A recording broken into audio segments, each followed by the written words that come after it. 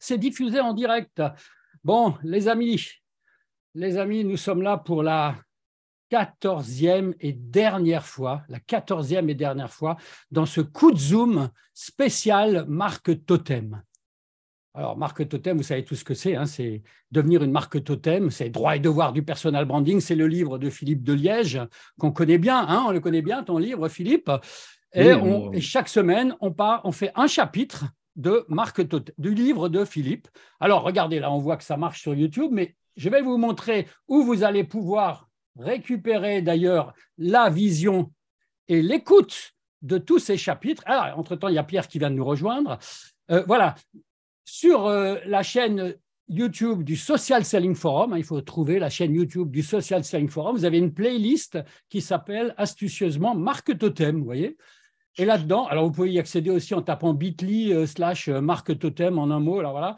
Et vous arrivez sur cette euh, sur cette playlist. Et là, si vous lisez chacun des, si vous écoutez chacun de ces 14 maintenant, hein, 14 sessions, dont celle qu'on est en train de faire, là, oui, il y a marqué à venir, mais elle est en, cours, là, voilà, eh bien, vous allez pouvoir écouter tout le livre de Philippe de Liège, comme moi j'adore le faire, c'est-à-dire lire un livre en format audio, puisque à chaque fois, je lis un passage. Donc, nous sommes avec qui aujourd'hui? Ben moi, Déjà, moi, je suis Loïc Simon, hein, et ça marche sur mon, profil, fondateur du Social Selling. Vous avez Philippe qui est là, hein, qui est builder of influencer, comme tout le monde le sait, personal branding, auteur, conférencier, etc., et qui écrit des beaux bouquins.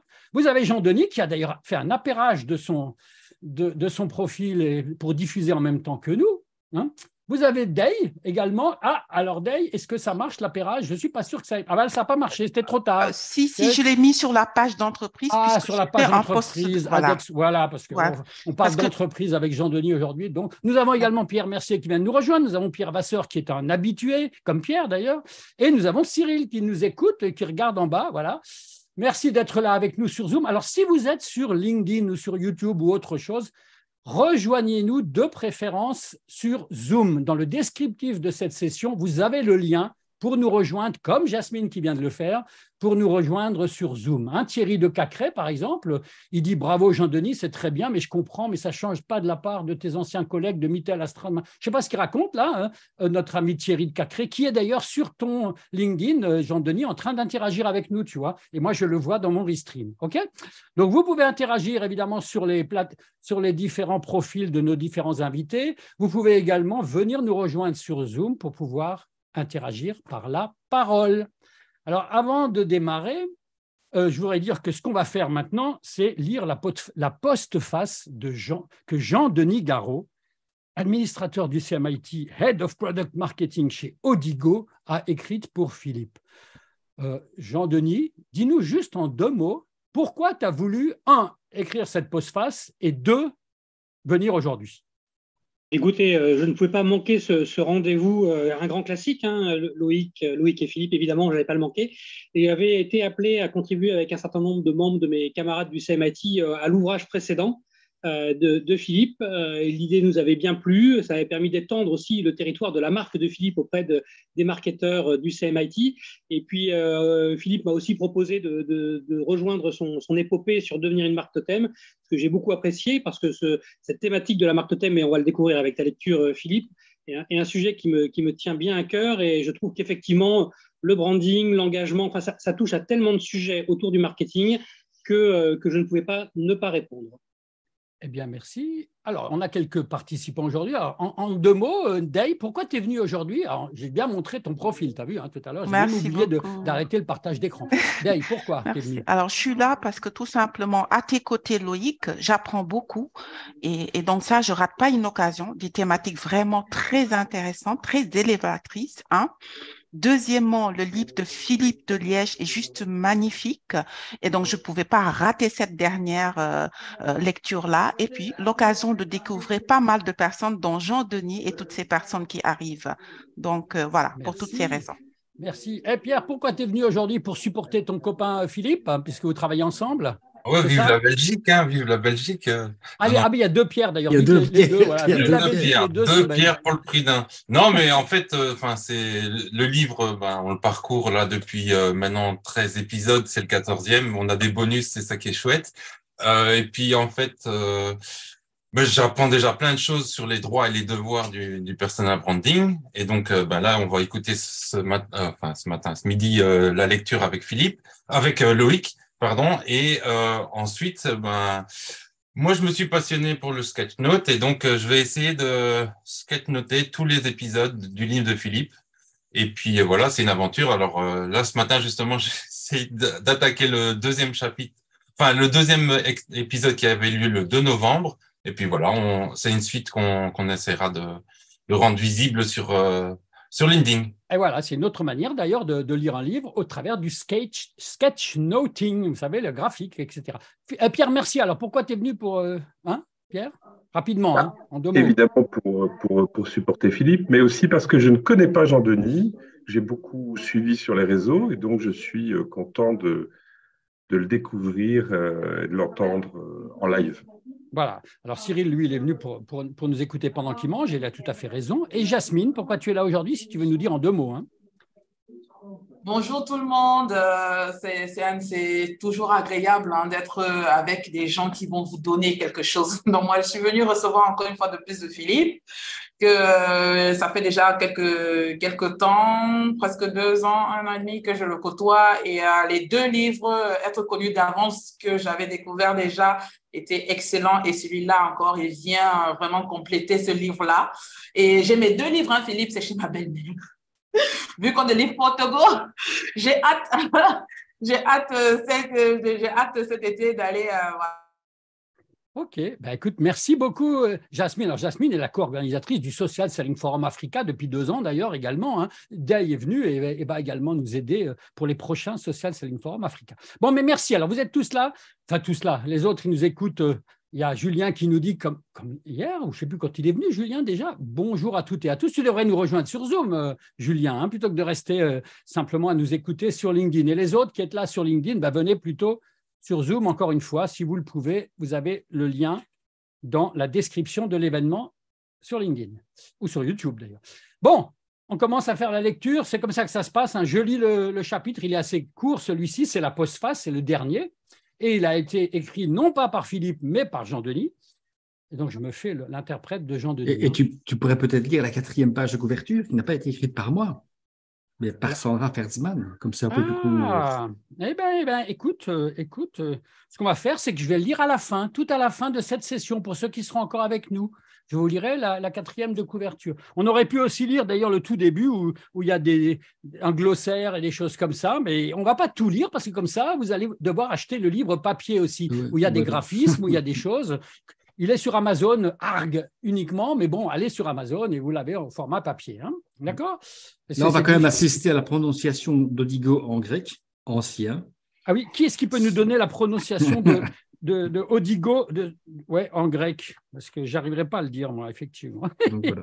on va rigoler. Bon, on, alors, on, a préannoncé la, la, la, trébuche. ouais, c'est ça. Bon, je me mets au milieu. Allez, je me mets au milieu entre vous. Alors, et, arrêtez vos micros tous, parce que je vais lire et on va utiliser ça pour que Philippe puisse faire une version audio un peu plus montée, euh, uniquement audio euh, du livre, hein, évidemment. Et vous pouvez aussi, comme je vous l'ai dit. Voilà, on est parti. Je lis ceci. Hein. Regardez comme c'est joli, là. voilà ça. Attendez. Et si vous venez sur Zoom, montrez-vous physiquement en vidéo parce que sinon je ne vous verrai pas. Vous voyez, on voit que Pierre-Loïc est arrivé. Bonjour Pierre-Loïc. Et taisez-vous. Ah, Philippe, je te nomme quand même, euh, tiens, je te nomme co-hôte. Si jamais il y a quelqu'un qui parle pendant que je parle, moi, ou qui vient, qui fait quelque chose, tu, le, tu lui coupes la chic.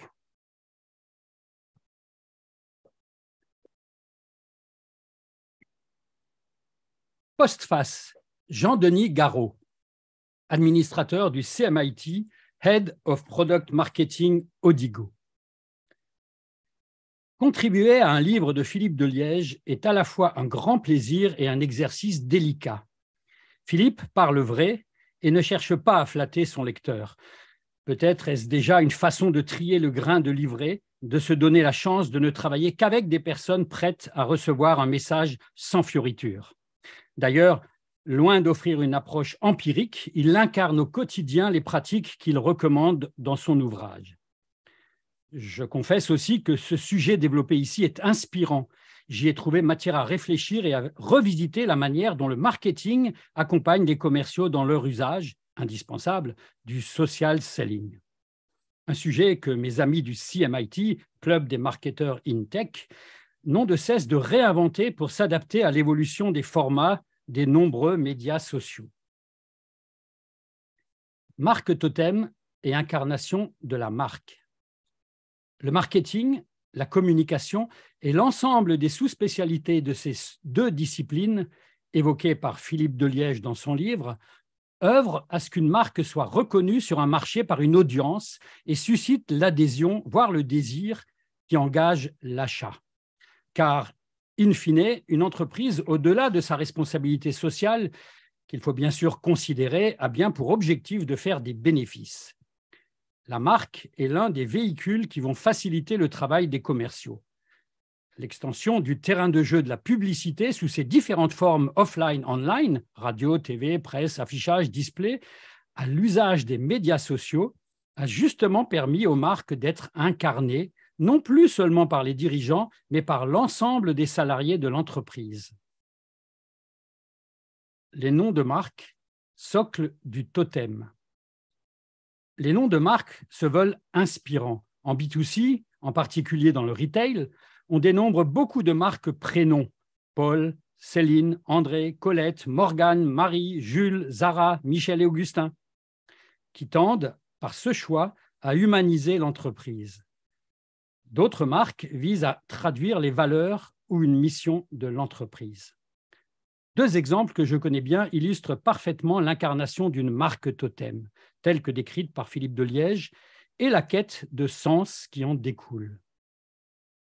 En 2016, les fondateurs de golem.ai ont fait le choix, pour leur nom de marque, d'une référence mythologique qui, depuis, a souvent été revisitée par la culture populaire.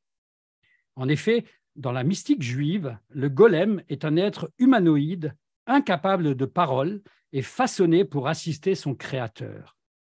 Un être qui s'active et se désactive par le mot inscrit sur son front. Émet, vérité.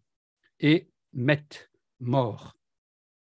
Le choix n'est évidemment pas innocent et le storytelling semble couler de source quand on découvre que l'entreprise agit dans le domaine de l'intelligence artificielle, plus particulièrement celui du langage naturel, et qu'elle est spécialisée dans l'analyse des mots il est dès lors facile pour les collaborateurs de la jeune start-up de s'identifier à cette image protectrice et philosophique.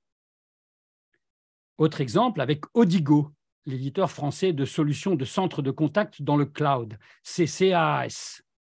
Fondée en 1986, la société du journal téléphoné, SJT, prend le nom de Prosody en 1998 un choix de nom évocateur pour une société de la tech spécialisée dans le traitement de la voix avec des solutions de serveurs vocal, de voicebot et de centres de contact. Prosodie, signifiant l'inflexion, le ton, la tonalité, l'intonation, l'accent, la modulation que l'on donne à notre expression orale. En 2019, Odigo devient une marque autonome et change d'identité visuelle en même temps que l'entreprise devient l'un des leaders du domaine de l'expérience client. Étymologiquement, Odigo vient du grec ancien, que je n'arrive pas à lire d'ailleurs, qui signifie guide. Un guide est un élément qui sert de repère, celui qui montre la voie et inspire confiance. Un choix particulièrement riche de sens pour une société qui accompagne les entreprises sur le chemin d'une meilleure expérience client et collaborateur.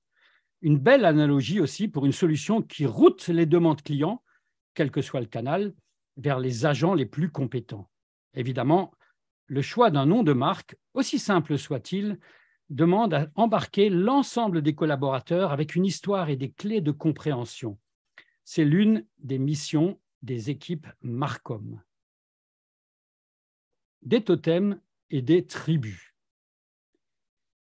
Il n'y a pas de totem sans tribu, sans adepte. La tribu naturelle est constituée par les collaborateurs. Elle peut l'être aussi par les clients, les fans, etc. Mais on parle plus souvent de communauté. Les tribus ont besoin d'un leader inspirant à défaut d'une marque totémique. Les marketeurs connaissent ce terme depuis 1988 grâce au livre Le temps des tribus du sociologue français Michel Maffezoli. Et aussi en 2008, avec Tribu, nous avons besoin de vous pour nous mener, de l'ancien responsable du marketing direct de Yahoo et serial conférencier Seth Godin.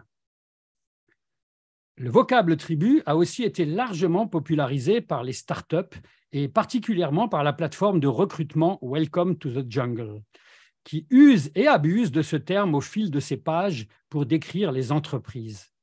Il faut à présent vouloir rejoindre une tribu et ses rites, s'assurer du bon fait culturel. De la même manière, les consommateurs sont de plus en plus en quête de sens. Ils ne cherchent pas seulement un produit, mais une histoire en laquelle ils souhaitent croire. C'est pourquoi transformer les collaborateurs, les membres de la tribu, est aussi important.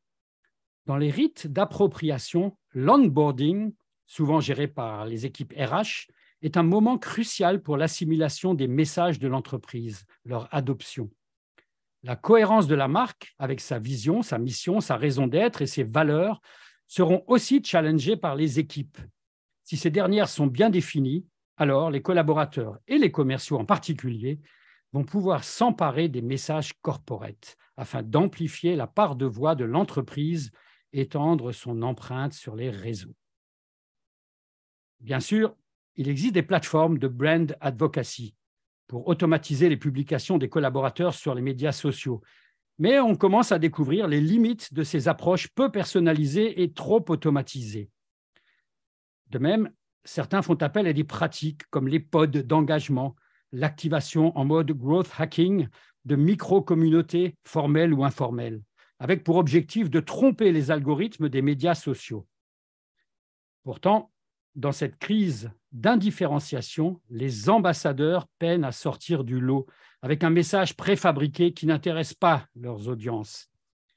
Mais finalement, le plus rentable sur le long terme est bien de doter les collaborateurs des compétences nécessaires à la communication et à la conversation au travers de médias sociaux.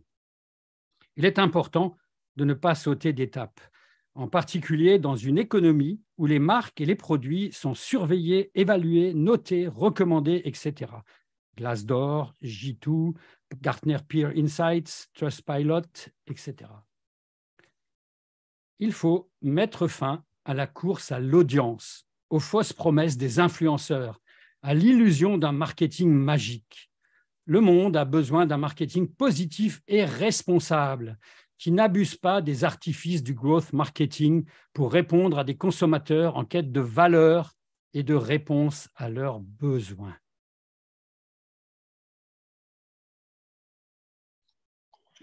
Voilà, merci beaucoup pour cette lecture. Et encore merci, à Jean-Denis pour cette euh, postface. Pour information, Jean-Denis Garot, euh, n'avait en fait que des éléments épars euh, de, mon bouquin et donc euh, il a un peu, il a pu écrire à l'aveugle. J'avais le plan. mais tu avais le plan, en effet. Tu avais le plan, le début et la fin.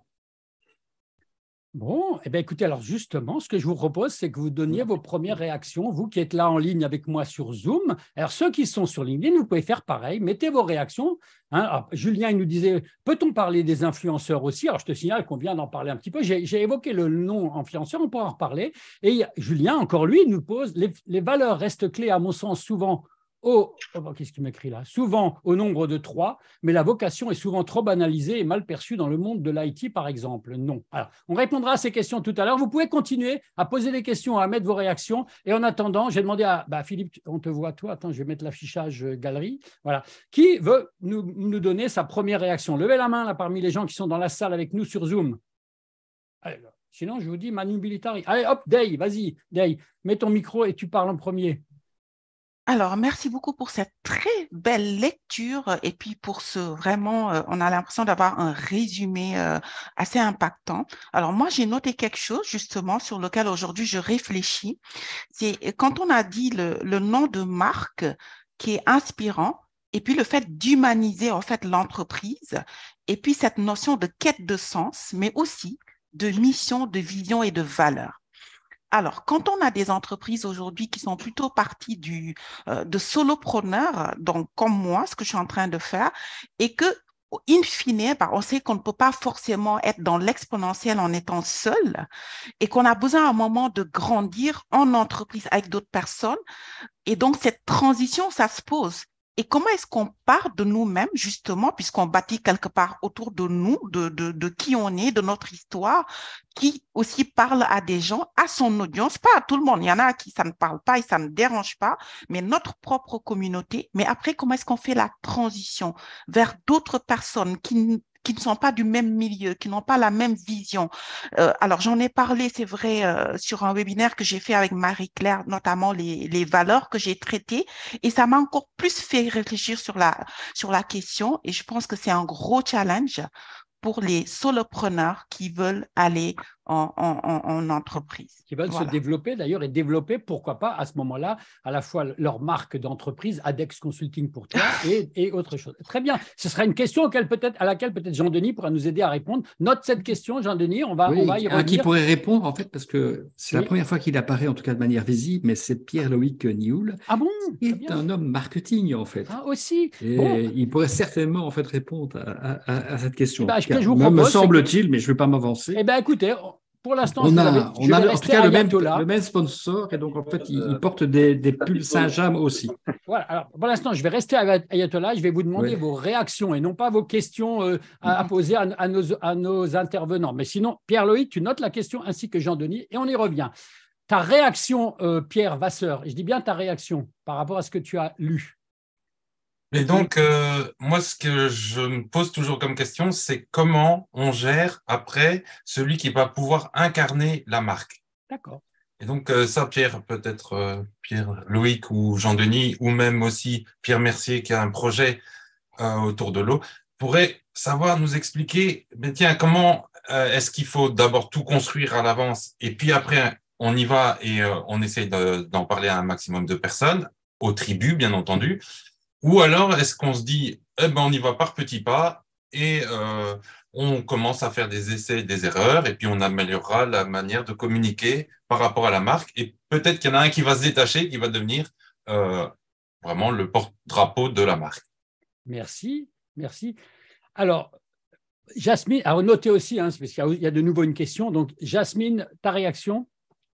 Euh, merci Loïc. C'est euh, ma réaction. Elle est euh, juste qu'elle renvoie un peu déjà à l'état d'esprit que j'ai depuis depuis. En fait, je pense que hum, cette préface vient en fait mettre encore plus de l'accent dans le monde d'aujourd'hui et de l'entreprise qu'on est en train de vouloir développer aujourd'hui, que nous soyons solopreneurs ou dans une grande entreprise. C'est pour moi ce que j'ai ressenti, c'est qu'il y a certaines choses sur lesquelles il ne faudra pas, on ne pourra pas on ne peut pas faire sans.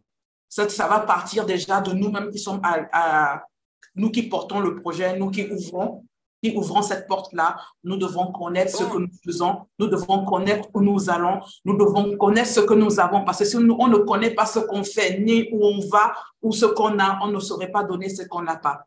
Et je pense que c'est de là, en fait, que euh, tout part et de plus en plus encore, euh, on a parlé de communauté, on a parlé d'humain, on n'a pas, on a, on, a, on comprend avec euh, le, vacarme de chat GPT et tout ce qui est en train de nous arriver sur, euh, avec l'IA et tout ce qui, nous, qui est en train de nous arriver, on aura encore besoin de plus en plus, de plus en plus d'humains et surtout beaucoup d'amour. Et donc, c'est ce que le message de Jean de Nîmes euh, voilà ma réaction à chaud. Jean-Denis, qui a écrit la postface avant que ChatGPT devienne le, devienne le phénomène absolu, il parlait de golem.ia dans, dans, son, dans sa postface. Merci, Exactement. Jasmine. Et tu n'as pas de question ou as une question ah, Si tu as une question, pose-la maintenant, parce que tant qu'à faire, on va y répondre aussi. Tu n'as pas de question Non, je n'ai pas de question, je suis le processus. Ouais. OK. Bon, alors les autres, vous êtes des spécialistes. Donc, ce que je vous propose, c'est que Pierre Loïc ou Pierre Mercier, si vous voulez donner votre réaction, allez-y, faites-le. Pierre Mercier, vas-y. Non, c'est bon Oui, vas-y. Non, je trouve c'est intéressant, évidemment, la notion d'entreprise euh, euh, qui s'incarne. Je pense qu'aujourd'hui, euh, c'est toujours pareil. comment acquérir, conquérir ou communiquer au nom d'une entreprise Une entreprise, c'est évidemment une somme de, de, de personnes, d'humains, d'êtres humains. Et je pense que plus elle est petite, plus elle va s'incarner. Mais quand même, euh, cette idée d'humaniser le, monde de l'entreprise est, une discussion très, très intéressante à mon avis aujourd'hui, où, comme le dit euh, Yasmine, avec euh, beaucoup d'automatisation et d'informatisation, etc., Donc, c'est très, très intéressant cette idée d'incarner et, peut-être d'humaniser le, plus euh, une, entreprise. Merci, merci. Pierre-Loïc, tu veux nous donner ta réaction et puis répondre tant qu'à faire, puisque Philippe t'a sommé de répondre à une question. Oui, d'ailleurs, bonjour à tous. Moi, j'ai bien humblement avoué et demandé à Philippe de répéter la question parce que j'étais attentif au moment où elle a été posée. Voilà, c'est ça aussi l'humain. Euh, alors, euh, je, vais, je, vais, tenter juste de partager un point de vue qui est, euh, lorsqu'on parle d'humanisation du discours, notamment sur les réseaux sociaux et, dans sa communication personnelle, pour une approche constructive, comme on le voit dans les médias, avec un équilibre entre ce qui va et ce qui va moins bien. Donc, sans basculer dans le, dans le pathos, sans basculer dans le, dans le, le, récit de toutes ces mésaventures en détail et, sans se poser la question de, si ça intéresse euh, son public. En tout cas, euh, je, plaide pour une ouverture de, de, de l'information qu'on diffuse à euh, contexte, à des, moments, à des, à des éléments qui sont peut-être moins positifs et moins, moins attractifs pour les équilibrer avec, euh, avec ce qu'on est euh, et en étant beaucoup plus peut-être optimiste et positif. Donc cet équilibre, c'est comme ça que je, que je, vois la communication personnelle, moi, et, c'est ce que j'essaye d'ailleurs d'appliquer. Donc, euh, et c'est là que, que, que l'histoire d'un individu devient, à mes yeux, intéressante. C'est d'expliquer humblement par quelles étapes on passe et par quels obstacles on, on est passé euh, pour atteindre un objectif. Je ne sais pas si ça répond à la question que je n'ai malheureusement pas entendue, mais, euh, Jean Denis va y revenir. Ma, philosophie. Jean-Denis va y revenir. Jean-Denis, ta réaction aux réactions et ta réponse aux deux questions, si tu te souviens des questions. Alors, je me souviens de la deuxième. Je n'ai pas saisi la première non plus, désolé, euh, Ndiaye. Et je peux commencer par ma réaction générique. Merci d'avoir lu. C'est toujours rigolo de voir un texte quelques mois après et de le redécouvrir. Euh, et d'espérer qu'il soit toujours en cohérence avec ce qu'on a pu dire euh, il y a quelques mois, ça va à peu près. Euh, du coup, ça m'a fait penser à une question aussi peut-être pour Philippe, c'est quand une marque est tellement incarnée par un de ses dirigeants, que se passe-t-il au départ du dirigeant? Quelle est la dette derrière qu'on a de, ce dirigeant qui a incarné la marque? Et donc tout le travail est à refaire. Est-ce qu'il parle avec son, il part avec son crédit de marque? Donc ça, c'est une, question que je me pose maintenant à, la suite de cette, de cette proposition. Et, ça revient un peu à la question que posait, alors je ne sais plus si c'était euh, retenu le prénom, comment gérer l'homme qui incarne? Effectivement, je pense que euh, là, ça, ça, implique des équipes marcom, des équipes marketing, euh, un, un, travail, je pense que ça ne s'improvise pas, même si la personne qui intervenait, je crois que c'était Pierre, hein, disait que euh, finalement, il fallait faire du try and buy, il faut évidemment tester, améliorer, etc. Une marque, elle, doit faire attention quand même quand elle commence à prendre la parole, parce que ça aussi, ça reste. Néanmoins, j'aime bien aussi l'idée de que tout, ne soit pas préfabriqué. Il faut laisser un peu de, un peu de spontanéité euh, dans tout ça. Donc, être accompagné, évidemment, accompagner le dirigeant. Et Loïc, certainement, ne me contredirait pas en parlant de la régularité, de la nécessaire régularité de la prise de parole, qu'on ne fait pas des prises de parole juste pour faire des coups et que ça doit être une stratégie long terme, mais qu'on doit avoir des choses à dire aussi. Euh, donc, euh, donc, sur cette, sur cette réponse-là. Et sur la première question, désolé. Désolé, Ndiaye, euh, j'ai pas bien saisi, parce qu'il y avait, avait l'impression qu'il n'y avait pas une question, il y en avait plusieurs en une. Euh. en plus, c'était, euh, je pense c'était aussi une, contribution, une réflexion aussi qui aboutit à une question. Alors, le, point, il est simple, c'est-à-dire aujourd'hui, quand tu es un solopreneur, donc euh, tu, tu bases ton entreprise sur toi, ton vécu, ton histoire, qui tu es. Et c'est ça, au fait, qui fait que les gens, tu développes une communauté. Mais justement, à un moment, tu te rends compte, et c'est lié à la deuxième question, que bah, t'es pas éternel. Et aujourd'hui, c'est la question que je me pose. Je suis pas éternel. Et au moment où je ne pourrai plus faire ça, est-ce que mon emprise va disparaître? Et donc, du coup, ce qui se pose, c'est que je suis obligée quelque part pour assurer une pérennité de monter en fait en entreprise avec d'autres personnes qui sont capables de reprendre le flambeau. Mais par contre, il y a une autre question qui va se poser, c'est celle de savoir comment est-ce que tu vas faire pour transmettre qui tu es, ton histoire vers cette entreprise devenue euh, euh, même, euh, on va dire, anonyme, hein, d'accord, anonyme, et comment tu vas faire? Est-ce que justement tu as intérêt à maintenir ton histoire qui tu es, qui a bâti ta communauté, ou bien tu as intérêt aussi à, t'ouvrir à autre chose puisque tu es dans autre chose? Donc voilà, c'est une problématique que j'ai aujourd'hui. Voilà. Maintenant, si tu peux te rassurer, même quand tu seras morte, avec le succès que tu vas avoir, euh, Steve Jobs est pour le moment l'homo sapiens un des plus célèbres, et alors qu'il est mort depuis maintenant presque dix ans, ou plus de dix ans. Euh, donc en effet, sa marque est tellement forte que finalement, les gens parlent au nom de Steve Jobs, se réfèrent à Steve Jobs, etc. Après, je pense que dans ce sens-là, c'est plus facile parce qu'en fait, le patron a ancré en fait le personal branding dans sa stratégie d'entreprise et après demander à ses pairs euh, de faire la même chose que lui mais de manière différente, ce sera plus facile. Euh, et donc, à un moment donné, et en plus, ça, il va pouvoir prouver que ça fonctionne.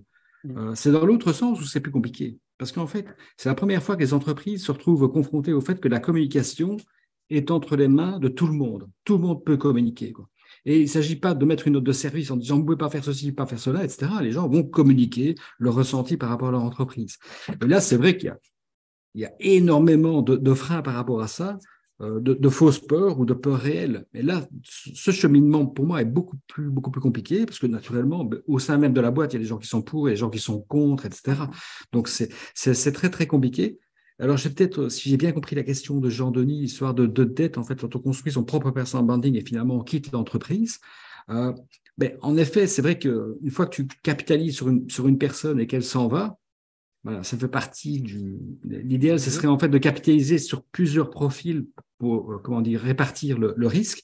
Après, pour le bénéficiaire, je prends l'exemple de, de Gérard, euh, Gérald, Gérald Carcenti. Mais en fait, la marque Gérald Carcenti, en fait, fait partie de son bilan personnel. Et quand les gens achètent Gérald euh, Carcenti pour redresser une boîte ou gérer une boîte, ils achètent le logo Gérald.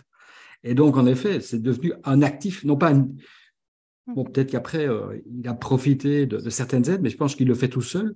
Quelque part, en fait, il s'est créé un actif complémentaire par rapport à son CV. Quoi. Et donc, il est extrêmement, extrêmement puissant. Maintenant, c'est toujours plus facile, nous, euh, de convaincre quelqu'un dont c'est la marque éponyme, euh, mais parfois, c'est pas toujours aussi simple. On discute avec un chocolatier dont, qui, est qui représente la société. C'est pas nécessairement plus simple. C'est vrai qu'il n'y aura pas de problème de transmission parce que lui, il est tellement lié au produit de il est condamné à faire du chocolat toute sa vie. je ne sais pas si je pense avoir répondu à la question. moi, je compléterai en disant, Philippe, que si tu prends le cas de Gérald Carcenti, qui est passé par plusieurs entreprises ces dernières années dans l'IT, hein, à chaque fois, son, son personal branding a profité à ces entreprises pendant le temps qu'il était dans ces entreprises. Et c'est d'ailleurs lui qui a amené ça à ces entreprises-là. Hein, la dernière étant SAP avant qu'il ne, quitte maintenant. Et, effectivement, si, si, tu nourris plusieurs euh, plusieurs marques totems dans l'entreprise, comme tu le dis, tu peux faire des, tu peux continuer avec d'autres personnes dans l'entreprise. Alors après, pour toi, Dave, moi je te dirais, lis un livre qui s'appelle Built to Sell, construit pour être vendu. Hein. Et il y a d'extrêmement bonnes euh, suggestions quant à la manière pour toi de monter ton business maintenant. Et, notamment, il y a un des points sur lesquels on n'est pas toujours en accord, toi et moi, c'est il faut se focaliser sur quelque chose. Hein. Il ne faut pas avoir 7 ou 8 ou 10 euh, euh, focus quoi, dans, l'entreprise. Voilà, ça c'est un des points, mais il y en a plein d'autres qui, sont liés à ce dont on vient de parler. Alors, on va continuer. Alors, en ligne, si vous êtes en ligne, c'est bien de nous dire merci, c'est bien de dire waouh, que c'est beau et bon courage vous. Merci quand même de le faire, hein, à, à Wan Dokun ou Benjamin. Ah, voilà, il y a Benjamin Grignard qui nous pose une question qui, qui, s'exprime. Donc, je vais lire ce qu'il vient de dire parce que malheureusement, là, sur, euh, sur Zoom, je ne vais pas pouvoir vous le montrer. Hein. Étant liégeois, ça ne peut être qu'une bonne question. non, non, alors on va voir. Hein. Je, lis, je lis directement. N'est-ce pas le rôle C'est Benjamin Grignard. Hein, vous le trouverez. Il est en train de regarder sur mon profil LinkedIn, là, en l'occurrence. N'est-ce pas le rôle du chef d'entreprise de transmettre sa vision, partager sa passion, de cadrer les valeurs importantes qui ne sont pas les seules importantes, qu'il faut ces valeurs qui ne sont pas les seules importantes, qu'il faut défendre, portrait. Oh là là, non, j'arrive pas à lire correctement. Moi, excusez-moi ce soir parce que j'ai mon, je, n'ai pas au bon endroit ma lecture. Est-ce que je la mets là-haut? Non, non, c'est bon. Alors, n'est-ce pas le rôle du chef d'entreprise de transmettre sa vision, de partager sa passion, de cadrer les valeurs importantes, qui ne sont pas les seules importantes, qu'il faut défendre, porter Ces valeurs d'entreprise portées par tous les membres de l'entreprise via tous les réseaux deviennent alors des points communs qui rassemblent, qui ressemblent un peu à cette vision transmise transmise de l'entrepreneur vers les employés et la clientèle. Quelle meilleure manière de cadrer que d'inspirer? Voilà la réflexion donc de Benjamin. Merci Benjamin, tu pourrais nous rejoindre sur Zoom si tu veux. Hein Ça, ça c'est une situation assez idéale d'un profil euh, charismatique et inspirant. Euh, tous les chefs d'entreprise, malheureusement, il y en a qui. en Belgique, on a une expression qui est vivons heureux, vivons cachés. Euh, certains quittent le bureau et sont contents de quitter le bureau et, et plus penser forcément à leur boîte, etc. Donc, c'est une vision assez idéale de, du chef d'entreprise. Je, voulais rebondir sur ce qu'avait dit Jean-Denis sur l'idée de survivre à sa marque il y a quand même énormément de marques aujourd'hui qui, datent de plus de 100 ans, comme euh, Veuve Clicquot, pour un exemple, qui est incarné par une femme, Veuve Clicquot. Et aujourd'hui, on va construire justement le marketing sur l'histoire de la marque. C'est-à-dire aujourd'hui, toutes les campagnes Bold Woman, je ne sais pas si vous suivez ce, genre de programme qui est assez exceptionnel de la part de, Veuve Clicquot pour mettre en valeur des femmes qui osent faire des choses, etc. Donc, simplement, on va s'appuyer sur l'histoire de, la marque pour faire vivre euh, ou survivre. J'ai lu récemment hier que les héritiers Lacoste ne sont plus propriétaires de Lacoste. Je ne sais pas si vous avez vu ça. Et donc, euh, ils sont, suite à un conflit euh, familial, ils ont dû vendre Lacoste. Et on voit que Lacoste ne s'appuie plus du tout sur l'héritage de René Lacoste, par exemple. C'est plus du tout. La communication de Lacoste n'appuie pas du tout, n'a plus cette, cette inspiration familiale du personnage originel qui était René Lacoste. Et voilà. Donc, euh, ça doit être la même chose avec le Kawe. Alors, oui, mais le Kawe, ce n'est pas le nom d'une personne, tu vois. Hmm. Euh, alors que, voilà, hmm. Kawe, c'est une histoire euh, extrêmement, extrêmement triste, d'une gros, grosse restructuration en France, mais il n'y a pas de nom de marque, il n'y a pas d'incarnation de marque sur Kawe. Mais ils ont un retour. C'est ça qui est intéressant. C'est un peu la question qu'on se posait, c'était de dire, il y a une marque qui développe, puis qui naît, qui et puis après elle peut mourir entre guillemets. Euh, là, entre autres, enfin pour l'instant, moi je vois des postes de Calgon parce qu'on en a parlé aussi dans le livre. Et Calgon, euh, avant Philippe dit, bah non, en fait, euh, il me faisait stresser pour savoir si j'allais pas l'oublier quand je mettais une machine et puis que ma machine elle va casser. Alors maintenant, ils, ils travaillent sur autre chose, ils sont sur la propreté, ils vont tuer toutes les bactéries. Et donc, les gens peut-être réachètent maintenant du calgon. Enfin, voilà. Mais donc, on parle bien d'inventer et c'est fort. Maintenant, il y, a, des éléments qui, sont propres à la marque. Hein. Si on reprend la, marque Lacoste, et pour le moment, en fait, ils exploitent plutôt en fait le crocodile. Vous allez voir en fait que simplement mettre le crocodile ou une mâchoire de crocodile en fait représente euh, la marque. Bon, après, ben, il faut savoir que Peut-être que dans dix ans, ils vont rappeler d'un point de vue communicationnel que pourquoi le crocodile? Parce que euh, Fred, enfin René Lacoste c'était ce qu'on appelait un crocodile euh, dans, le jargon, dans le jargon tennistique. Hein. Donc il y a des éléments. Si tu prends la marque Michelin, ben, pour le moment, il y a un truc qui a disparu dans leur com, c'est le Bivendum. Mais en fait, il existe toujours. Donc, c'est pas impossible que dans cinq ans, ils, remettent en fait des Bivendum. Euh. Donc, le, fait d'avoir plusieurs éléments permet de varier ta communication et de pas faire tout le temps la même chose. Quoi. Mais bon, moi, je suis pas un expert marketing. Hein. donc, il y a, euh, Pierre-Loïc et Jean-Denis sont beaucoup plus compétents que, moi dans, cette matière-là. Et, et, Pierre aussi, Pierre Mercier. Bon, Est-ce qu'il y a encore une dernière réflexion là? Parce qu'après, je vais poser une question, moi, à, à Jean-Denis qui. Ah, ben il est là. Ben, c'est Day qui avait levé la main, je pense. Vas-y, Day. Rapidement. Voilà, hein, alors, oui, rapidement. Alors, euh, j'ai bien aimé la notion de contextualisation, euh, puisque effectivement, en tant que fondateur, on a notre mission, euh, notre personal branding qui, in fine, est basé sur une méthodologie internationale. Mais quand on regarde le contexte dans lequel on est, sa culture, sa zone, par exemple en Afrique de l'Ouest, au Sénégal, bah, je vous dis que moi, j'ai eu énormément de difficultés au départ de comment c'était vu, c'était assez novateur. Maintenant, c'est vrai, avec la persistance, on commence à comprendre les choses et donc ça pose une autre notion. Oui, je suis dans, une, dans un schéma international, mais comment est-ce que je contextualise euh, quand est, Comment est-ce que je lâche peut-être 10% pour m'adapter aux gens avec qui j'interagis pour qu'ils comprennent à un certain niveau. Donc, je pense que ça aussi, c'est assez intéressant. Et c'est pourquoi peut-être j'ai eu ce problème de me dire moi et par rapport aux gens puisque dans mon milieu, c'est carrément honnêtement différent. C'est pourquoi d'ailleurs, on voit que, voilà, euh, pas pour faire de l'autopromo, mais je suis parmi les, les seuls, et je le dis, c'est des réalités parce qu'on parle aujourd'hui qui sont aussi visibles, en tout cas dans mon pays. D'accord? Peut-être les top 10 ou voilà. Absolument. Maintenant, il faut savoir que de manière générale, il y a plus d'hommes que de femmes qui se mettent en avant sur les réseaux sociaux. Et, c'est une chance pour les femmes parce que les quelques-unes qui osent le faire, euh, en général, euh, ont quatre longueurs d'avance euh, par rapport à nous. Parce qu'il y a moins de compétition et en général, celles qui osent sont extrêmement compétentes. Donc en plus, elles, creusent de nouveau l'écart. C'est pareil en France d'ailleurs, effectivement. Alors Jean-Denis, moi je veux revenir sur le côté euh, de la postface de Jean-Denis. Jean-Denis, tu t'es réécouté là, euh, interprété par moi-même, hein, tu vois, avec ma vision de l'intonation de, qu'il fallait donner aux, endroits et autres. Est-ce qu'il y a quelque chose que tu changerais effectivement maintenant dans cette postface qui a été écrite il y a plus d'un an, qui d'ailleurs n'est pas une préface mais une postface et puis qui, qui a été faite avant que le livre soit effectivement fait quand même? Est-ce qu'il y a quelque chose que tu changerais ou, ou une notion que tu rajouterais par rapport à ce que tu as essayé d'exprimer dans cette postface en tant que marketeur communicant? Ou pas Ou rien Si, certainement, mais euh, là, là, tu me prends, hein, tu me prends à, froid ou à chaud, je ne sais pas dire. Euh, non, je pense que euh, si on voulait rebondir sur l'actualité, évidemment, on ne peut pas ignorer le phénomène chat GPT. Et, et, un agacement que j'aimerais partager là aussi, c'est que on, parle de. Là, on a l'impression que tout est facile et que l'IA magique, miraculeuse, à nouveau, va nous sauver quand elle ne nous fait pas peur. Et j'ai l'impression qu'on a, affaire à des nouveaux convertis qui, euh, se disent ça y est, euh, l'IA va me permettre de faire tout ce que je n'arrivais pas à faire sur LinkedIn, va me permettre de faire tout ce que je n'arrivais pas à faire en marketing, tout en communication. Même si, je l'avoue, euh, ChatGPT est impressionnant. ChatGPT est impressionnant parce qu'il répète des choses qui ont été inscrites et qui ne sont pas euh, nouvelles ou qui ne sont pas créatives.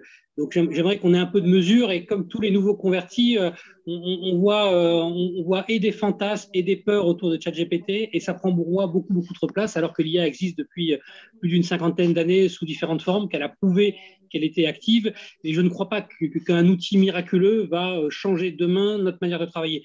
Forcément, elle nous questionne, forcément elle nous questionne sur les contenus, etc. Mais euh, demandons à ChatGPT de nous créer une marque ou nous créer du sens pour une marque, il ne va que répéter des choses qui ont déjà existé, il va réagglomérer des choses qu'il a trouvées ou qu'on lui a appris mais euh, ne va pas révolutionner les choses et va peut-être manquer d'authenticité.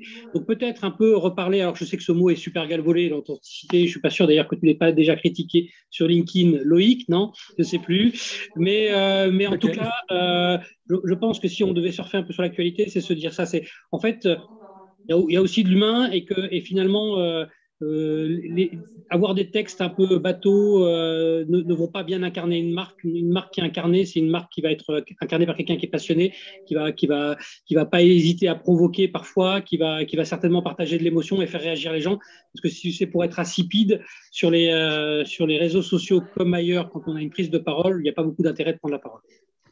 Ah, c'est très important. On a parlé d'ailleurs avec, avec ah, Philippe dans plusieurs droits et devoirs. Ouais, suis tout à fait d'accord Ouais. Non, non, il, il, m'a touché au cœur là. Jean-Denis vient de me toucher parce que c'est euh, euh, justement tout ce mouvement-là, j'étais comme ça, mais c'est là, ça existe depuis. Ça existe depuis et donc du coup, ça a pris son envol, je vais bien dire, dans le monde francophone, hein, parce que chez les anglophones, c'est là depuis. Aujourd'hui, il y a plein de... Ils ont récupéré les trucs de Open euh, AI, ils ont fait pas mal de choses pour évoluer, mais ça, et je, te rejoins là-dessus, ça reste un outil. Hein. Franchement, c'est pour moi, c'est ça. C'est juste un outil qui facilite, je ne sais pas quoi, selon la personne qui va l'utiliser. Ça reste un outil. Mais le reste, ça sera toujours l'humain à faire le reste. Et je suis vraiment. Euh, voilà, je ne vais pas parler d'authenticité parce que Loïc n'aime pas ce mot, donc euh, je ne veux pas être. Euh, Hey, juste une chose, je t'arrête deux secondes, Jasmine, pour Benjamin Grignard qui veut nous rejoindre sur Zoom. Benjamin, tu regardes quelle est la description de l'événement d'aujourd'hui auquel, tu es en, train d'assister. Hein. Et dans la description, tu as le lien qui s'appelle https bit.ly slash coup de Zoom écrit correctement, comme c'est là-dedans, et tu peux nous rejoindre sur Zoom. D'accord hein? Je crois qu'on a dû le partager également dans beaucoup de, commentaires. Mais bon, je comprends qu'on ne trouve pas. On est tous des poissons rouges d'ailleurs, et c'est normal. Hein. Bon, il y a, euh, Pierre, Mercier qui voulait réagir, me semble-t-il. Oui, vas-y, Pierre. Euh, d'abord, je suis un, grand admirateur de ChatGPT. Je, je dois vous le dire, moi, je l'utilise et je suis euh, fasciné par ChatGPT. Je pense qu'en revanche, je préviens, j'ai un de mes clients qui va faire un speech demain et je l'ai prévenu que j'avais pris dans ChatGPT les, les 4-5 bullet points qu'il voulait de ma part. Et je lui ai dit parce que peut-être que tout le monde a fait la même chose. on risque de se retrouver euh, comme pour les examens où on a 20 copies qui sont identiques. Je dis voilà, moi je, je, je l'ai fait en 30 secondes grâce à ChatGPT, mais c'est grâce à ChatGPT. Donc attention, si quelqu'un d'autre a la même idée que moi, euh, fais attention. Hein. Et, et j'ai pas de problème à le citer que je j'ai utilisé ChatGPT pour ça. OK. Euh, ah, ah, à, propos de ChatGPT, vous allez sur LinkedIn, vous allez dans le moteur de recherche de LinkedIn et vous tapez ChatGPT en un mot. Alors, je vous le montre d'ailleurs sur mon écran là. Hein. Voilà, je remontre mon écran quelques instants, tant qu'à faire. Vous voyez, vous tapez ChatGPT et puis vous cliquez sur choisir les événements. Évidemment, ce n'est pas les personnes que vous cherchez. Et vous allez voir le nombre d'événements qu'il y a en ce moment sur LinkedIn à propos de ChatGPT, dont d'ailleurs celui que je co-organise la semaine prochaine. C'est juste un peu de pub le 7, euh, le 7 février. ChatGPT, bullshit ou entre sens de l'histoire. Et plein d'autres là-dessus que vous allez pouvoir trouver si vous tapez ChatGPT. Voilà. Ça, c'est juste pour le, côté un peu fun. Peut-être pour rebondir sur l'aspect ChatGPT, ben, bon, voilà, par exemple, la lecture de, mon bouquin où la plupart des, chapitres ont été écrits par moi, même si j'ai été aidé par d'autres pour, pour m'inspirer. Mais quand on voit la différence de ton entre la manière dont j'écris, dont la manière dont Garot écrit sur le même sujet, ben c'est ça qui fait l'humanité. C'est-à-dire que c'est absolument pas du tout la même plume. Quoi. Ah toi, tu es un Belge, tu écris comme un Belge. Voilà, euh. oh, ben, oui, ça dépend. Euh, on, écrit, on écrit en tout cas de manière très très différente. Et il n'y a personne qui va, qui va confondre un paragraphe écrit par Garot et un paragraphe écrit euh, par Philippe de Liège. Quoi. Ça, c'est clair comme de l'eau de roche. Et il y a une troisième plume qui est celle, la personne qui a la quatrième page de couverture, qui, a, qui est féminine et qui a une, écriture extrêmement légère. Quoi. Beaucoup plus légère que la mienne et que celle de, Jean Denis. Hein. Donc nous, Merci. Nous, on est des hommes, on est un peu lourds. Merci. Alors, il y a Benjamin Grignard qui a réussi à se, joindre à notre Zoom. Il s'est connecté à l'audio. Mets ton micro et donne-nous ta réaction ou ta question. Vas-y. Alors, s'il arrive à se connecter à l'audio sur Zoom, c'est en bas à gauche. Hein. Non, c'est en bas, c'est sur Zoom que tu dis. Voilà. Voilà. Tout le monde m'entend? Oui, vas-y, vas-y. Bonjour, bonjour. Hein. Désolé pour mon retard, mais je vous suivais directement depuis, depuis LinkedIn hein, et je vous remercie de me donner la parole. Euh, moi, j'ai été très inspiré par le fait que, effectivement, euh, j'entends, hein, on parle de, chat GPT, euh, mais il y a une super phrase euh, de Robert X. Kringley qui est en fait quelqu'un qui s'appelle Mark Stephens, qui a d'ailleurs énormément aussi publié sur le, personal branding. Et d'ailleurs, un petit peu comme euh, comme Jean-Denis Garot, il a participé à, à, différents, euh, comment dire, bah, lui, il a, il a, publié dans le euh, dans l'Info World. Hein, Monsieur Qu'est-ce qu'il dit alors C'est quoi sa phrase? Alors, c'est on ne peut pas, ben, une machine ne peut remplacer 50 personnes ordinaires, mais il ne peut remplacer une personne extraordinaire. Et euh, je pense que c'est ça qu'on attend d'un personal brander et c'est ça qu'on attend d'un chef d'entreprise qui veut faire véhiculer sa vision et inspirer les autres afin de, euh, de pouvoir avoir un réel impact même après sa mort. Et euh, voilà, c'est qu'il faut arriver à être exceptionnel, à se retrousser les manches, comme disait Philippe, et, à, et, à, inspirer en utilisant ben, tout ce qu'on peut de sa personnalité, de ses valeurs, de sa passion et pouvoir la transmettre, c'est hyper important. Et ChatGPT ne pourra pas faire ça. Bon, merci beaucoup. Alors, je fais un dernier tour de table très rapide avec chacun d'entre vous qui voulait vous exprimer, seulement si vous voulez vous exprimer. Et ensuite, je vais demander une conclusion à Philippe et à Jean-Denis. Et Philippe, ce sera une conclusion sur la globalité de ton livre, hein. pas uniquement sur la session d'aujourd'hui. Réfléchis-y. Donc, allez, qui veut, qui veut prendre rapidement la parole? Une ou deux phrases. D'abord, Pierre Vasseur, puis Pierre Mercier. Vas-y. Mais moi, je retiens euh, la phrase que je retiens le plus de ce livre, c'est un travail d'équipe. En fait, donc, euh, on peut euh, devenir marque euh, totem, on peut de, faire du personal branding, mais il faut travailler en équipe. Et donc, vraiment, bah, je remercie Philippe d'avoir écrit le livre et d'avoir aussi fait ces sessions-là parce que je trouve que c'est un concept exceptionnel parce que c'est comme si j'avais eu Philippe dans mon salon et que j'ai pu discuter avec lui sur son livre.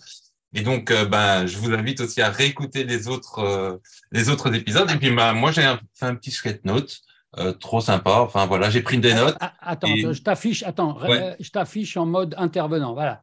Voilà, moi c'est ma manière de, retenir les choses et donc euh, ben, voilà, j'ai noté quelques petites infos et ben, je remercie tout le monde et je pense qu'on va continuer à en parler euh, dans les tribus à gauche et à droite. Voilà, merci. Merci à toi, merci beaucoup à toi. Je vous remontrerai ensuite l'endroit où vous pouvez trouver l'ensemble des replays. qui veut d'autre? Alors, il y avait Pierre Mercier d'abord. Vas-y rapidement, Pierre moi, je, pense qu'il y a tout un enjeu de la bataille de l'attention. La première chose, c'est comment sortir du lot euh, face à, cette guerre de l'attention qui ne concerne pas que LinkedIn, qui concerne. Donc, ça, c'est la première chose. Et euh, je travaille aujourd'hui pour des gens qui, sont dans le monde du sport. C'est aussi de leur guerre, c'est-à-dire que dans la cour d'école, on joue plus au football etc. On est sur son écran, téléphone, quand c'est pas interdit évidemment. Donc cette notion de guerre de l'attention est très très importante. Après moi, moi je suis euh, évidemment convaincu par, par le de Philippe puisqu'on est on travaille ensemble. Mais cette idée de de, saisir euh, l'espace gratuit euh, pour avoir la chance d'évangéliser, c'est ce nouveau rôle, de, en tout cas des personnalités qu'incarne la boîte, ben, je pense que ça, c'est vraiment révolutionnaire. Aujourd'hui, payer pour, parler, c'est surréaliste. Quoi, voilà. Et ça, c'est un espace, à nouveau, si vous faites du contenu intéressant par rapport à votre audience. On revient donc à cette bataille de l'attention, de faire du contenu pertinent, intéressant, et, tout le monde devient acteur de, sa propre communication. Très bien. Qui d'autre voulait réagir rapidement? Non, c'est bon? Tout le monde est en phase avec tout ce qu'on vient de se dire? Ah, ah Dave, vas-y rapidement. Oui, rapidement. Alors moi, j'ai retenu trois choses. C'est que ce livre, premièrement, il bouscule, il fait réfléchir, et puis, à la fois, il, euh, il soulève des stéréotypes mais il lève aussi des stéréotypes, notamment en, matière de personal branding. Voilà, donc, euh, ce que je ah, dire. J'adore ce que tu viens de dire, Dave. Et puis, je vous, alors, je vous remercie tous. Vous pourrez toujours reparler après la, fin officielle de cette session. Je voudrais que Jean-Denis nous donne euh, sa conclusion par rapport à la session d'aujourd'hui ou par rapport à, la lecture complète du livre qu'il a fait, j'espère, enfin comme moi, ou trois fois comme moi maintenant. alors, Jean-Denis, vas-y, c'est à toi. pas, trois fois, mais euh, oui, oui. Maintenant, j'ai eu plaisir à, lire le style aussi, on, parlait de style, c'est qu'on avait ce débat avec Philippe sur la taille de mes posts qui était beaucoup trop long, très dense et qui manque d'émoticônes parce que j'ai horreur de ces posts sur LinkedIn où il y a 40 émoticônes, où il y a un saut de ligne tous les trois, tous les trois phrases pour que, pour que les gens passent du temps à lire le texte, etc. Et donc c'est vrai qu'on a un style qui est marqué et que plus on a un style qui est marqué, plus on l'incarne et plus il est difficile à copier. Maintenant, euh, sur le livre, j'ai adoré ce titre, j'ai adoré le titre précédent, j'ai hâte de connaître le titre du prochain. Oh, ça c'est beau ça. Être connu mmh. d'avance accélère la vente, c'était le précédent. Euh, devenir une marque totem droit et mmh. devoir du personal branding. Et c'est vrai que nous, les social sellers, d'ailleurs, comme dont je fais partie évidemment, hein, Social Selling Forum et compagnie, on aime bien réutiliser ces phrases de Philippe, je trouve, hein, qui s'est aussi d'ailleurs nourri aux discussions qu'on a eues ensemble, aux relations qu'on a eues dans les sept dernières années, n'est-ce pas Philippe hein? Oui, non, mais ça, je le confirme. Le, prochain bouquin, je suis victime d'un lobbying intense de la part de Pierre Bercier pour qu'il écrive un bouquin sur le, billard à trois bandes. Mais déjà, quand on doit expliquer, c'est déjà un peu plus compliqué. Donc euh, voilà. Et je ne sais pas encore. Enfin voilà. Non, mais c'est sur cette bataille de l'attention. Euh, oui, j'avais oublié d'ailleurs ce que c'était le lobbying que je t'avais fait pour te dire à quel point je suis capable de zapper sur des sujets. Mais c'est parfois compliqué d'expliquer euh, dans la bataille de l'attention aussi la notion de subtilité. Et la mhm. subtilité, c'est le contraire d'être un bourrin, comme mmh. aime bien le dire euh, Philippe. Et aujourd'hui, il n'y a rien de plus insupportable que quelqu'un qui se connecte à vous sur LinkedIn pour tout de suite vous vendre quelque chose. Donc, l'idée, c'est vraiment de se dire comment est-ce qu'en incarnant sa marque, hein, donc cette idée de personal branding, indirectement, on arrive à faire un lien avec les ventes. Parce que à la fin, c'est quand même ça l'objectif euh, du jeu. Mais pas uniquement. Hein. ça peut être faciliter le recrutement, ça peut être faire des deals, euh, des, nouveaux partenariats, des nouveaux sourcings de produits, etc.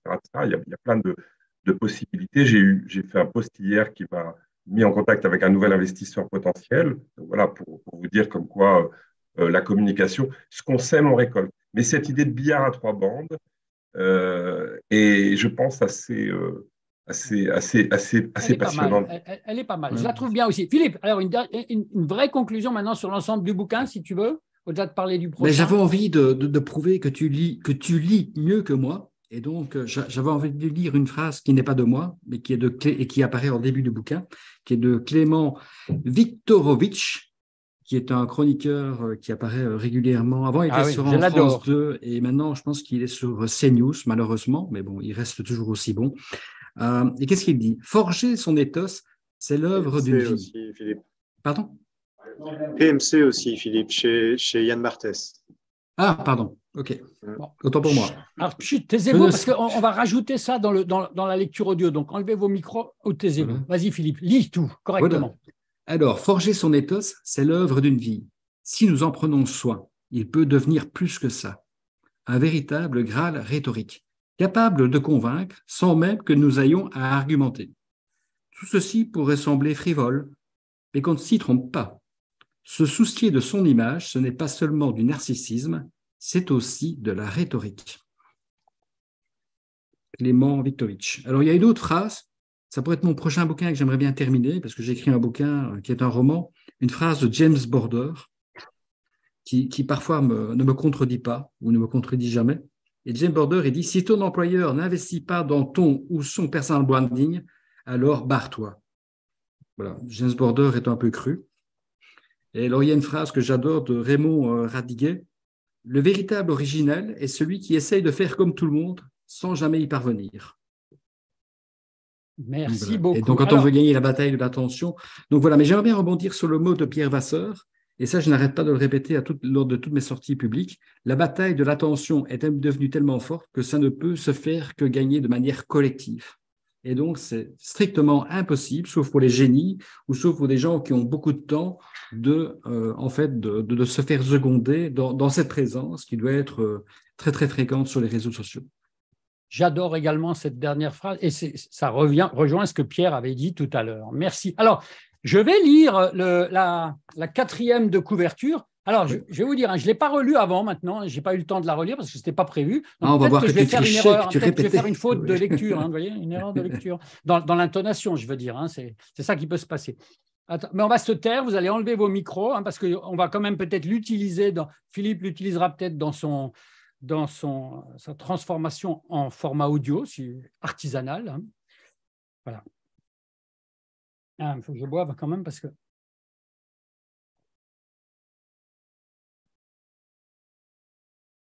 Qu'est-ce qu'une marque totem? Comment en devenir une? Il existe un territoire où ces marques s'épanouissent, les réseaux sociaux. Le lu vu sur les réseaux sociaux a remplacé le vu à la TV, dans ces lieux où prendre la parole est gratuit. Mais comme l'affirme l'oncle de Spider-Man ou encore Winston Churchill, un grand pouvoir implique de grandes responsabilités. Et avant de pouvoir jouir de ce pouvoir, il y a des droits et il y a des devoirs. Des droits et devoirs que l'auteur, et Marc lui-même, analyse en détail dans cet ouvrage en décryptant les mécanismes de construction de ces marques et en évoquant notre relation de presque intimité avec elles.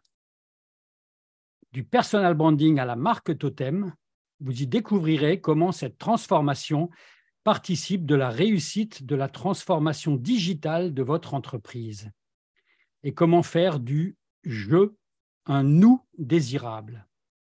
À lire, à appliquer? Sandra Fertzmann. voilà, bravo Sandra, bravo Loïc. Oui, bah, ouais. ouais J'arrive à lire même sans vous voyez que c'est c'est le flacon 3 euh, en 1, quoi. 3, 3, 3 pubs dans le même livre pour le prix incroyable qui se situe sur Amazon. incroyable. Euh, ne pas l'acheter, c'est m'insulter. Non, je vais faire un peu de, je vais faire un peu de pub pour moi, deux secondes, à propos, parce que je fais des lectures là, en ce moment, je fais donc ces deux lectures. Dans les chaussures de 16 entrepreneurs, c'est donc le, le lundi après-midi à 17h30 pendant 16 sessions, il y en a encore jusqu'au mois de mars-avril, et celle-ci qui vient de se terminer aujourd'hui, on a lu le livre de Philippe. Je, si vous avez écrit un livre, si possible auto-édité, parce qu'il y a des problèmes quelquefois avec les, avec les, les éditeurs, hein, que votre livre n'est pas disponible au format audio et que vous avez une vraie mission de vie positive par rapport aux défis socio-écologiques du moment. Par exemple, vous êtes une, structure euh, dans l'économie sociale et solidaire, vous avez une entreprise vraiment à mission, vous voulez vraiment sauver euh, les humains, la biodiversité, etc., etc. Hein ou vous avez quelque chose de vraiment fort en termes d'humanité, d'entreprise altruiste, que sais-je, je vous propose de faire ce qu'on a fait avec Philippe ou ce que je suis en train de faire avec mes amis entrepreneurs africains et pas que africaines, c'est-à-dire de, faire ce, genre de session pour vous dans les, dans les mois qui viennent.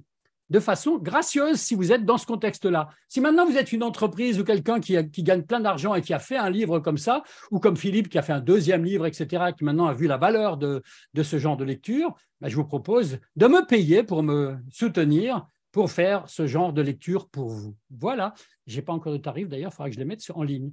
Parce que finalement, euh, le Social Selling Forum, c'est super. Hein, je l'ai fait depuis sept ans, j'en suis à 99, on va faire la centième cette année. Mais depuis le Covid, c'est un peu plus compliqué de faire de la monétisation absolue de ce type de forum.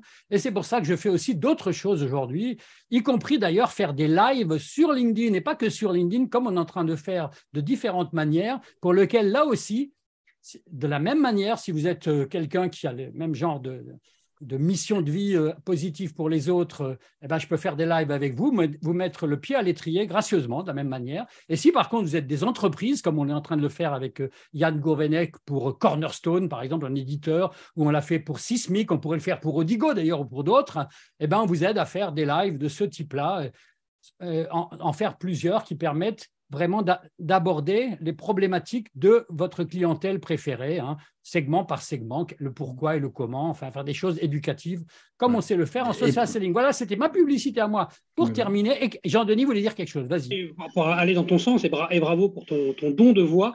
Euh, je vais juste rappeler qu'Odigo partage et participe à Donneur de voix, je ne sais pas si vous connaissez, les bibliothèques sonores et donc permet à ses collaborateurs de venir enregistrer des voix pour des livres pour les malentendants.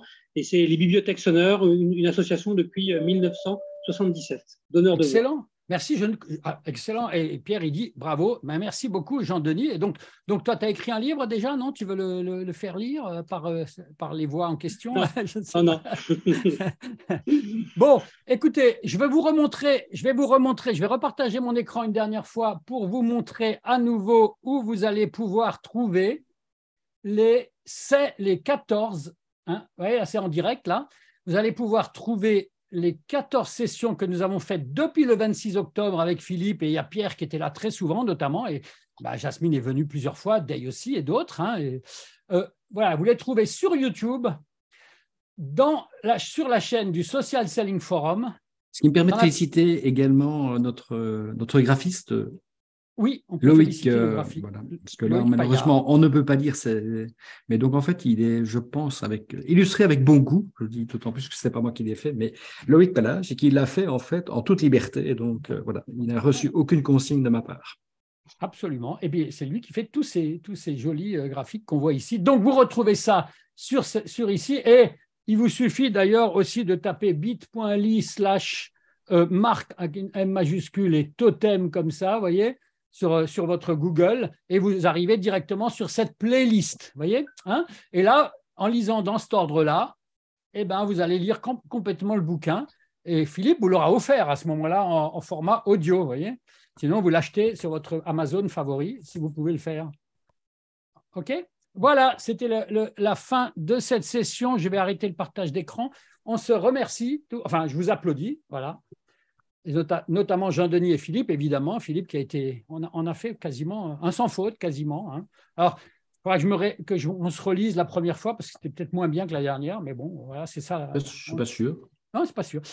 Oh, si, si, quand même. J'espère que j'ai été meilleur chaque fois. Hein, Loïc, oui. Loïc, alors j'ai oublié de dire quelque chose. Je ne sais pas si on est en live encore. On est encore en live, hein, on n'a pas encore fini. Hein. J'ai appairé deux euh, quatre canaux. Alors c'est pour préciser pourquoi ça, pour que vous compreniez. En fait, aujourd'hui, nous avons euh, en fait sept piliers transformateurs. Et au niveau de ces sept piliers, ce qu'il faut comprendre, c'est qu'il y en a deux qui sont en bonus. Et c'est quoi? Bah, c'est tout simplement tout ce qui est livre, e-book, webinaire, live. Et c'est ça qui explique aujourd'hui, en fait, que j'appelle par rapport à lui, que je suis ici, puisqu'on est engagé dans la recherche et la transmission de connaissances. On y croit, y compris pour l'Afrique, pour nos pays. Voilà. Merci beaucoup. Alors ça, c'était à destination de tes nombreux followers, d'ailleurs, dont certains vont voir effectivement cette vidéo. Merci beaucoup, Dave, d'ailleurs, d'avoir fait ce qu'on appelle l'appairage de, de, ces canaux. Ça veut dire quoi? Ça veut dire que quand on fait un live comme ça, qui a été planifié sur un outil qui s'appelle Restream, en l'occurrence, qui permet ensuite de diffuser sur LinkedIn, sur YouTube et autres, on peut faire en sorte que ces invités, que mes invités, Jean-Denis par exemple, Philippe, qui l'a fait aujourd'hui, ou Day, eh bien, ils puissent en même temps diffuser en temps réel sur leurs propres canaux, notamment sur leur profil LinkedIn, et donc intéresser leurs propres contacts ou leurs propres followers. Voilà, ça fait partie de ces compétences qu'on peut acquérir lorsque on fait beaucoup de live et qu'on voit l'intérêt, et également les inconvénients. Il n'y a pas que des avantages d'ailleurs à faire ce genre de choses.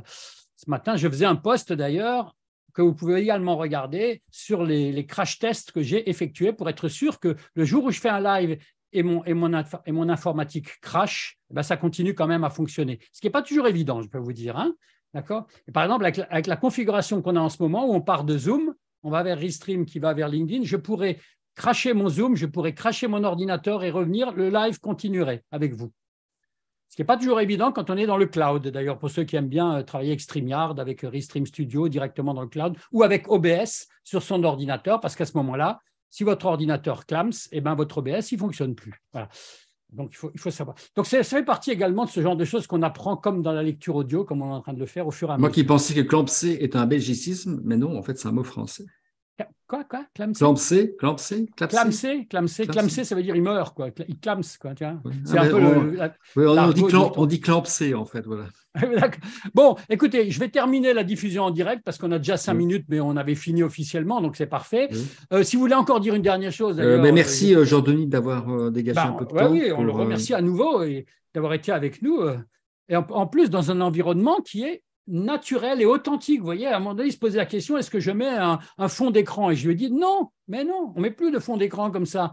On est authentique, on, est naturel, on est vulnérable, on est tout ce qu'on veut et c'est ça qui marche. Alors on peut mettre des fleurs. Moi, j'ai mis des fleurs parce que la semaine dernière, j'ai écouté un gars qui disait mettez des fleurs et puis ne soyez pas trop, trop près comme, comme ça parce qu'il faut que vous puissiez montrer vos mains aussi et, jouer avec vos mains. Vous voyez ce que je veux dire? Voilà, ça c'est un autre conseil qu'on peut donner. Je m'aperçois que Pierre-Loïc euh, Pierre Loïc passe très bien l'écran. J'avais envie de dire, crève l'écran. Ah ben Pierre Loïc, ah ben, regarde, il est magnifique. il... est dans son studio là, tu es dans ton studio, Pierre Loïc. Mais ce n'est pas un fond d'écran, ça. Hein? Ce n'est pas un fond d'écran. Il y a du monde autour de moi. Oui, mais ce n'est pas un fond d'écran que tu as derrière toi, c'est bien naturel. pas du tout. voilà. Parce que s'il avait un fond d'écran, ce serait horrible.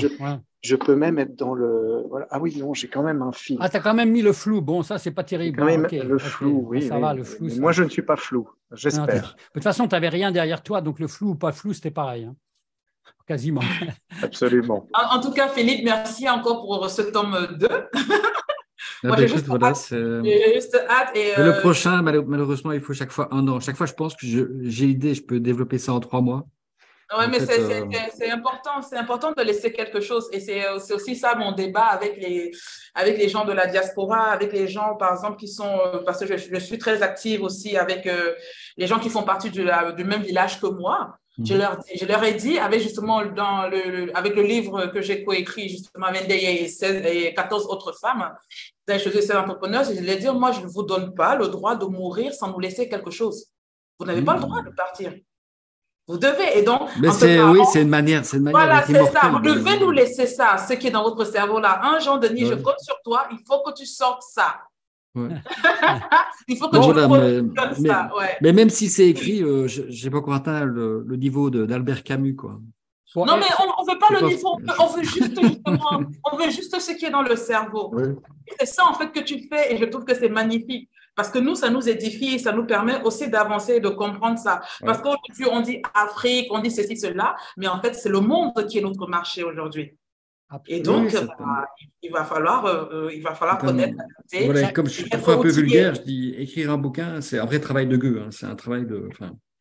C'est pour ça qu'à un moment donné, il faut un certain temps pour te dire, OK, je, recommence, hein, parce que c'est quand même Voilà, mais je te remercie. Et, d'ailleurs, ce n'est pas le deuxième, Jasmine, c'est le quatrième. Hein. Il a écrit deux autres livres sur le social selling et sur les commerciaux, euh, commerciaux social sellers. D'accord? Voilà. Donc, le titre était peut-être. OK, merci. Alors, je rappelle à tout le monde, devenir une marque totem droit et devoir du personal branding, ça se trouve sur Amazon, et puis vous allez sur le, replay euh, sur la, chaîne du Social Selling Forum, et on vous dit au revoir. On vous dit merci à vous qui, êtes, qui regarderez ça peut-être en replay pour trois ou quatre d'entre vous, parce que les replays, c'est rare. Mais bon, et je termine la diffusion en direct.